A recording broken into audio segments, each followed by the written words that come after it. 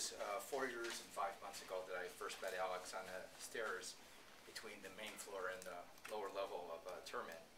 And uh, at that time, I had just been given an opportunity to uh, create a new course uh, in the ME Design Group, uh, one that focused on technology and uh, that benefits people with disabilities.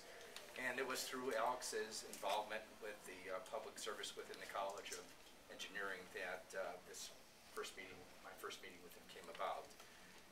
The subsequent months and discussions with both Alex and Professor Drew Nelson, the course took shape um, as Alex was responsible for getting the course listed and always represented the student's viewpoint in uh, conversations about the course.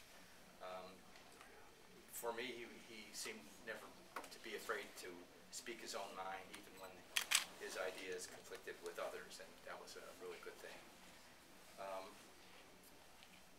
those meetings gave um, the course Perspectives in Assistive Technology, and over the succeeding four years, the course continues to enjoy a small enrollment by enthusiastic students. And uh, although Alex was not able to attend classes in the past couple of years, I, I felt the spirit at every lecture. And it is for Alex's contributions with this course that we remember and memorialize uh, today's dedication. And I feel confident that good things will come out of this modest laboratory, modest laboratory space, and Alex would be pleased. So thank you very much.